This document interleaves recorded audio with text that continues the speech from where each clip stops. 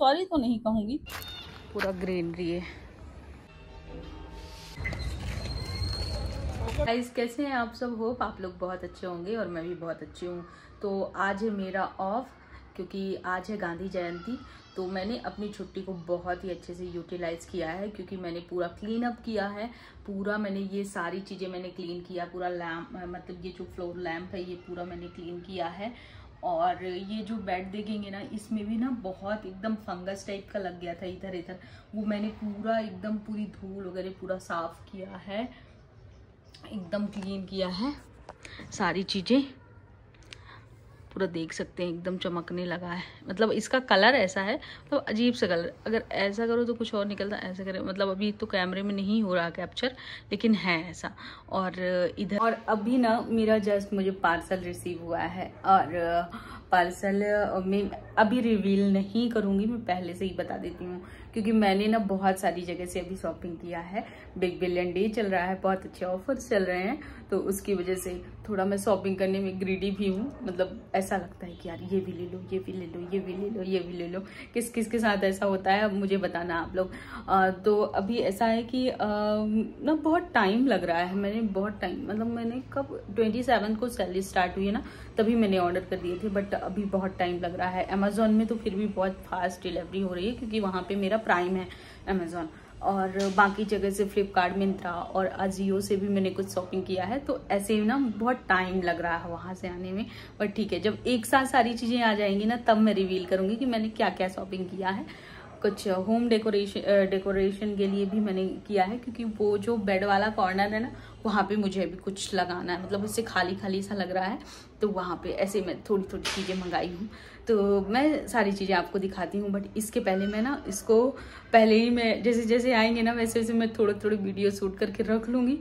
और फिर मैं एक साथ डाल दूँगी उसको अटैच करके। क्योंकि अभी ऐसा होता है ना मेरे साथ एक ही प्रॉब्लम है क्योंकि मेरे पा, मेरा पार्सल रिसीव हो गया फिर मेरे से रहा नहीं जाता। मुझे लगता है यार देखूँ कैसे आया कैसे आया वैसा है।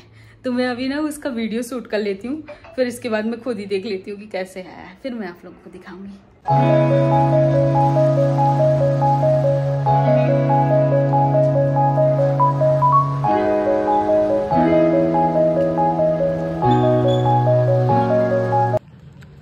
गाइज़ यहाँ पे मैं आ गई हूँ वॉक कर रही हूँ थोड़ा सा क्योंकि आज छुट्टी का दिन था तो मैं सोची कि थोड़ा सा मैं वॉक कर लेती हूँ। वैसे तो मैं रोज़ करती नहीं हूँ वॉक क्योंकि दो रीज़न है। या तो टाइम नहीं मिलता, या तो फिर मन नहीं करता।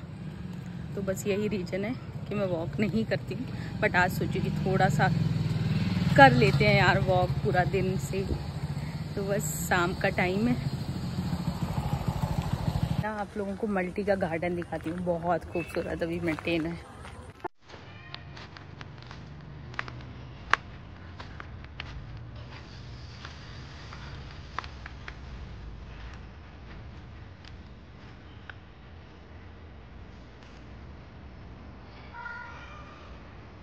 हाँ गाइज़ मेरी आ, मैं अभी जस्ट आई हूँ मार्केट से तो मुझे मैंने ना कमेंट पढ़ा और कमेंट को मैंने डिलीट भी कर दिया है। जिस का मुझे कमेंट आया था उसमें मैंने रिप्लाई किया था कि आप क्यों हंस रहे हैं रीवा की लड़कियों में? तो उनका कमेंट का रिप्लाई आया कि यार जस्ट मैं एक जोक था और जो मैंने आ, किया था मैंने मज़ाक किया था वो आप सीरियसली ले लिए।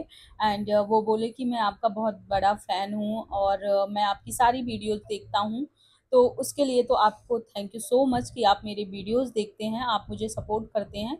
बट सपोर्ट करने का मतलब आप ठीक है आपको कहना था जो भी कहना था आप मुझे डीएम कर सकते थे मेरे इंस्टाग्राम पे। पर आप पब्लिकली ऐसे मुझे कमेंट्स करते हैं तो वो मुझे अच्छा नहीं लगा। ठीक है? उसका मैंने वीडियो के थ्रू आपको रिप्लाई दिया है कि रीवा की लड़कियाँ बहुत कुछ कर रही हैं। और जैसे आप बोलते हैं क्योंकि हम मैंने ये भी आपको क्लियर किया था कि आ, मैं हम ब्लॉगिंग करते हैं तो ब्लॉगिंग में कोई पॉइंट एकदम पॉइंट पॉइंट पे ध्यान रख के ऐसा नहीं, हम जनरली जैसे घर में बातें करते हैं, वैसे ही मैं ब्लॉगिंग कर देती हूँ। एंड सभी ब्लॉगर ऐसा ही करते हैं, ठीक है? तो उसमें ऐसा कोई एकदम क्लियर चीज़ें तो हो नहीं सकती हैं। हाँ बोलने में थोड़ा अप एंड डाउन क्योंकि कैमरा के सामने बोलना पड़ता है। बहुत सारे लोगों को तो हेजिटेशन भी होती है कैमरे के सामने बोलने में, पर फिर भी। तो ऐसे कॉमेंट ठीक है? आपके लिए एक मज़ाक होगा आपने कमेंट पुट कर दिया, लेकिन मेरे लिए या किसी ब्लॉगर के लिए या कोई वीडियो क्रिएट करता है, उसके लिए ना ये छोटी बात नहीं होती है।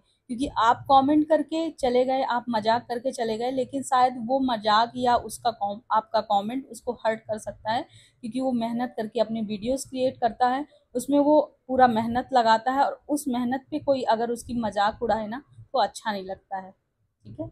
तो बस मुझे आ, मेरा इंटेंशन बिल्कुल भी नहीं था कि आपको हर्ट करना लेकिन मुझे एक जवाब देना था कि ऐसा नहीं है।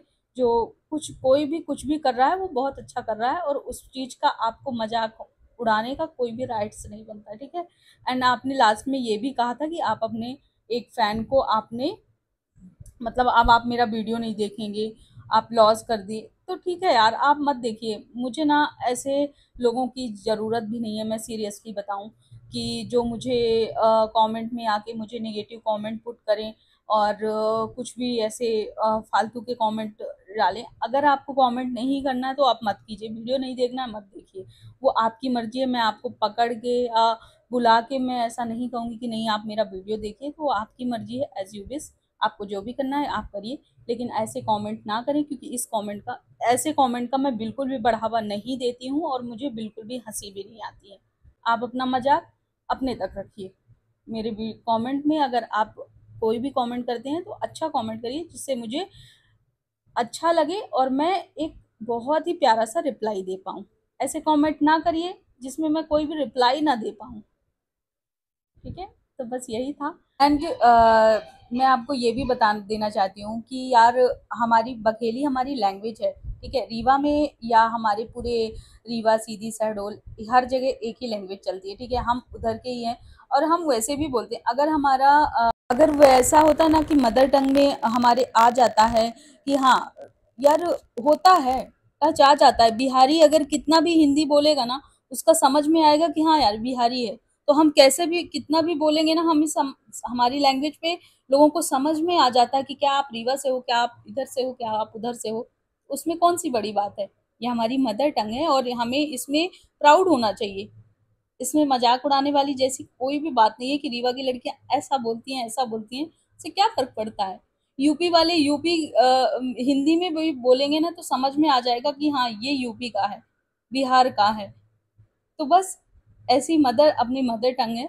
हम कुछ भी बोलें, लेकिन समझ में आ जाता है। मैं इंदौर में रहती हूँ और मैं बहुत जगह, मुझे ऐसा होता है कि मैं जनरली अगर किसी से मिलती हूँ तो वो यही बोलते हैं, क्योंकि यूपी और रीवा और इधर की सब लैंग्वेज थोड़ा मिक्स होती है। तो या तो वो लोग बोलेंगे, आप यूपी से हो, या तो बोलेंगे, आप रीवा साइड से हो। तो हम, हमारी लैंग्वेज ही बता देती है कि हम किधर से हैं। उसमें क्या बुरी बात है यार, हम, हमें प्राउड होना चाहिए। इस चीज़ का। और मैं प्राउड हूँ। मुझे बिल्कुल भी शर्म नहीं आती है।